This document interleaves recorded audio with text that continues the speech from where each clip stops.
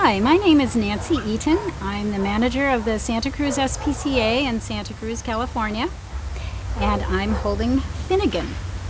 Finnegan is a sweetie pie. He's a little terrier mix and he loves being held. He's a total snuggle bug. He loves going for car rides. He loves sleeping with his person. He's in, foster, in a foster home in the evening. And he just loves being held and, and giving kisses. His ideal home would be with an older adult woman, no children, and probably not a male.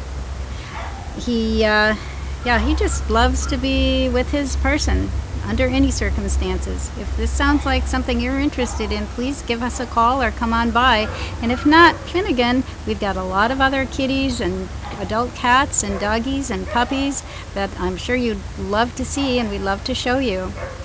We are at uh, 2685 Chanticleer Drive in Santa Cruz, California. Our number is our phone number is area code 831 465 5000 and you can visit us on our website which we keep updated whenever we get a new animal in. And that's santacruzspca.org so i hope we hear from you. I fell in love at the spca you can too